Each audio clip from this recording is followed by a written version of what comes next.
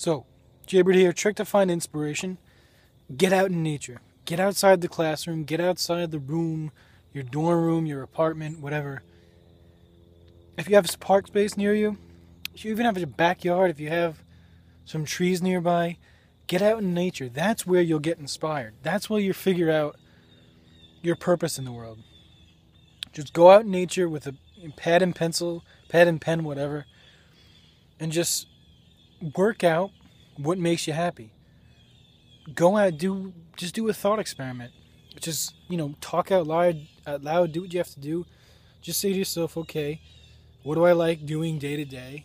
What do I like? What makes me happy in the simplest in the simplest form, and how can I do that? And more importantly, how what can I avoid? You know, situations, circumstances, careers, whatever. What can I avoid to, you know, not put me in a place that I don't want to be, and that doesn't jive with my morals, ethics, and personality. So once you do that, I mean, the whole world will change. Your your outlook will change. The way you see things, the way things are just brought to you is it, it becomes amazing. So once you find your life purpose, once you find what makes you happy, you choose to flip on that happiness and it's it's it's such an amazing feeling. So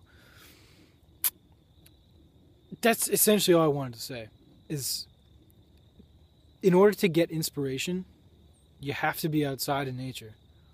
You're not going to get inspiration by being in some lecture hall, you know, being talked at by some professor about the economy of Indonesia in the 1472.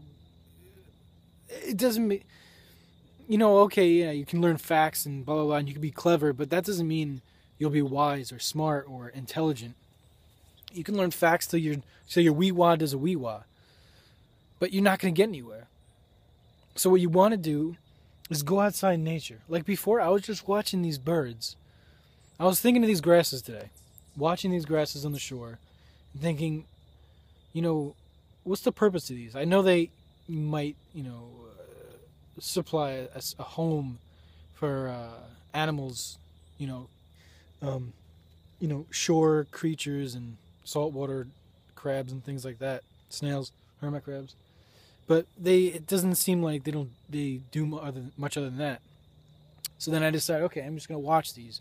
I'm gonna study these grasses. I'm going to take the time and just observe them and look at them. Then I find out that there's this bird, this tiny little wren looking bird, that eats, that pecks at the center of the grasses and either eats the inside of the grasses, uh, sort of like bamboo kind of grasses, or it eats insects that are inside.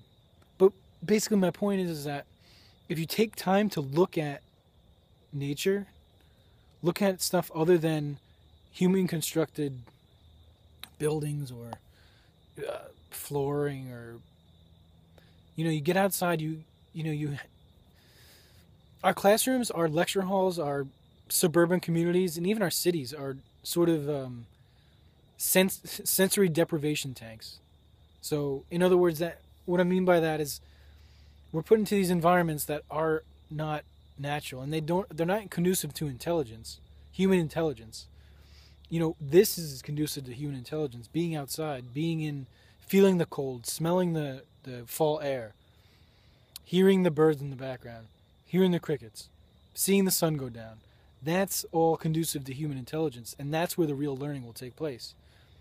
So if you have to read a book, read outside. If you got to eat lunch, go outside. You know, it's super easy, and I know I'm not the only one feeling this. So if you feel it, like this video if you dislike this video, fine. Let me know in the comments why. And uh, if you if you get the same feeling, put it in the comments down below so I can um, so others can see that it's not just crazy uh, me with banana hair. So subscribe if you want to see more of these videos. This is JBird signing out. See you soon. Remember to carb up if you want to live longer. Be the best you. Lose the animal products. Lose the bullshit. Right? Get happy. Get healthy. Peace.